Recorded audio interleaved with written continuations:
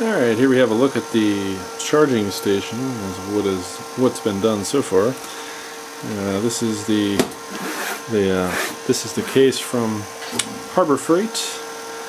It um, opens up and what I've done so far is I've taken these little straps that you can get at your hardware store. Uh, I think they're meant for holding up ductwork and that sort of thing, uh, pipes. Uh, they're made out of hard plastic material. And I've taken half inch screws from the underside, just drilled a hole straight up through machine screws and put a locking hex nut on each point, four points here.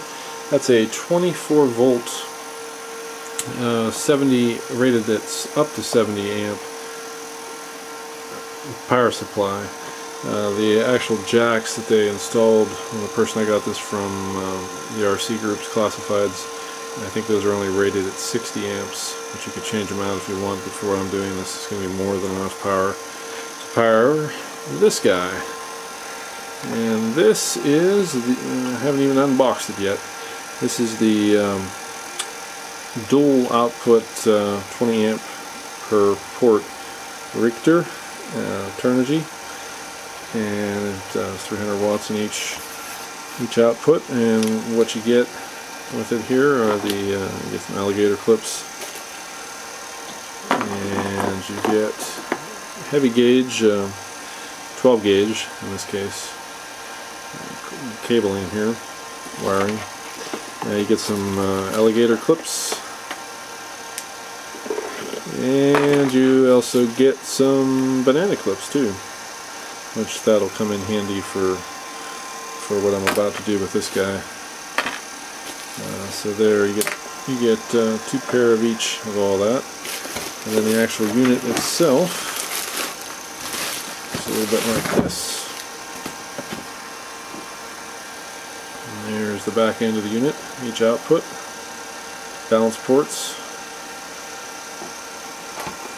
and the main unit right here visually controlled.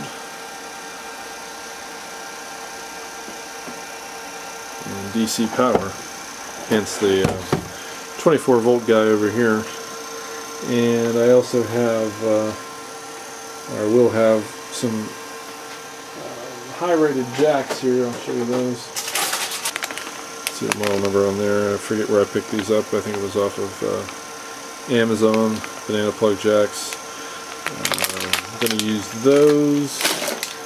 And what I'll do is I could you could take acrylic or you could take um, any kind of hard material. And in this case I'm going to try this foam this Elmer's foam and I'm going to try to just make a top to it right here with the Elmer's foam.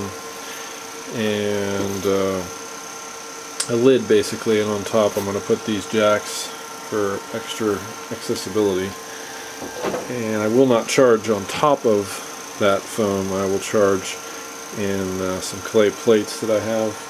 I picked up uh, picked up these guys at the hardware store. Now you'll get comments from people saying well that's not truly a fire safe box like people are using. Well they're clay and I have a lid for it and they fit full of two batteries inside lid on top. Set this on the side outside of my charger and that's how I intend to charge for now. I'm also going to install a smoke alarm on the top of the lid here as well for extra safety although it'll be in eyesight most of the time as I step out of the room for a minute while I'm charging. And I drilled out two ports on the side for fans, one there and one there. And over here I'm going to take and wire up this guy as a rocker switch for a simple on off for the AC power. And I'll get proper gauge Y split uh, cabling to go from here to there. And I'll outline how that's going to get wired later on. And I'll probably put a divider somewhere in here. Uh, I should also mention that the uh, Turnigy uh, dual charger is actually going to sit on top of the foam lid that I'm going to make for this next to the uh, next to the banana jacks and also I have a uh, parallel adapter so I can charge two batteries at once. So I'll embed that on the top as well. And that's that. Here's a look at the uh, connector for the power supply line. Uh, this being the power supply line here the Y adapter uh, check out the detail section of the uh, YouTube video I will have what vendor I got everything from. Uh, this guy had to be wired just like this. Closer look at the wiring, we had to connect these two via the black negative connection and there was a cross on this one is actually the, should be white but it's red and here's the white connector here's the negative and the green being the ground right here. For this particular switch, this is how that worked out. And there'll be a link to fellow uh, FPVer out there uh, who built a charging station, fellow RC person who built a charging station just like this, and he is how I got this diagram and did it a lot quicker. And that's the switch, plug it in externally there, and I'll go in there with some hot glue, seal off these connections and we'll be good to go. Okay, as a charging station update, I uh, had a problem because the fans were not 24 volt obviously. The fans I got are 12 volt. So I had to find a way to get 12 volts to the fan. So what I've done is I tapped into the existing fans on each of the 12 volt portions of the power supply and I don't know if you can see that there, but I spliced into the wires and tapped out for both of them and ran the cables. So I've got the the 12 volt there, and 12 volt over there. Ran the cable behind the rope. Charging station update. I had to find a way to get 12 volt power to the fans because it's 24 volt. So I tapped into the existing fans on the PSU and you can kind of see how I did that there. I had to remove the fan, the top fan, and that worked out pretty well, although the leads were kind of short.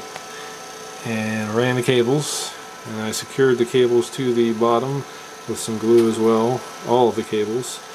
Put the divider in at this point, and I'll find and cut some foam, and that should probably do it. Then the top will come on, and that, that'll be it.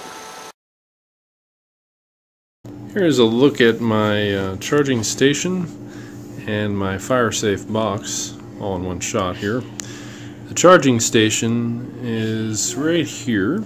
I took a box off of Harbor Freight, one of those uh, metal aluminum cases. Did some mods to it. As you can see on the uh, blog entry for this, I have more details and pictures on how I made the cuts and so forth. But basically I cut holes on the side put a fan in there and I wired in a switch on the side. And we'll start with the inside first. Have a uh, 24 volt power supply. I got off of someone off the classifieds on uh, RC groups.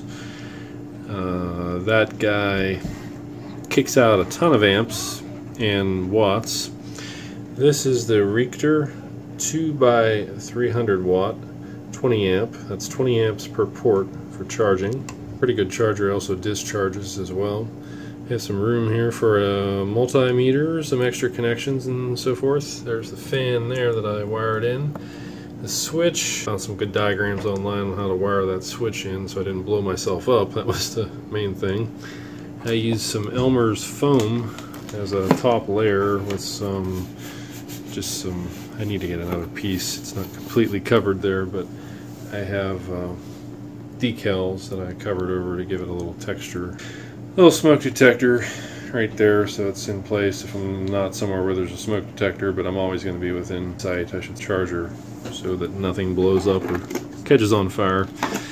Then I got these paraboards, EP Buddy Paraboard version 3s so that I could also parallel charge two batteries on each one if I wanted to have to make sure that the voltage on both batteries are within 0.2 and that the batteries have uh, the same type 2S, 3S, and you add up all the milliamp hours.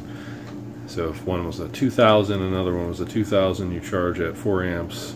That would be 1C or 8 for 2C if you're able to charge a 2C. Oops. And I got these extensions off of uh, various Amazon sites uh, for balance charging and for the connections to the batteries to make it easier for them to reach uh, my charging area. Makes them easier to reach the charging area and after some doing I built myself a charging box. Initially I started off with clay plates and that was cumbersome to kind of take out of the house so I decided to make a portable charging station fire safe box and transport box. This guy is a 20 inch toolbox from Lowe's and some drywall. I cut it to size made an initial mistake of spraying it with plasti dip but it was such a thin layer it's not going to really hurt anything I was doing it to try to keep the dust level down from inside here. It kind of flakes off. Now the dust level is fine and that won't be an issue. I did plasti dip the top of this because I didn't want the metal to come in contact with any of these connections and cause a short. But in the end I ended up using electrical tape anyways. So there's some electrical tape around the sides to prevent shorts and some electrical tape here on the, uh, the hatch. I made enough slots for all of my batteries in one shot. I might make a, another toolbox that's a lot smaller that can hold maybe six batteries if I don't want to take the whole thing with me. And I can charge them. I set them right next to each other in the other room. And the cord will reach basically to the center here. And I can use that as the charging area or the left side, bring it closer together. And it works really well. Of course, if I want to take this on the road and use it in the road, it's kind of heavy. Maybe not the best choice. Probably better to have a smaller charger for in the car to take to hook up to a battery at the site. Uh, however, a lot of sites have AC now, so uh, it's kind of nice to have that. And I can close the lid straight down like so, lash it up, take it with me. Initially I had this guy up on top uh, but that wasn't the best bet for transport, although I have yet to actually transport it out of the house. So there you have it, charging station and a fire safe box and transport box.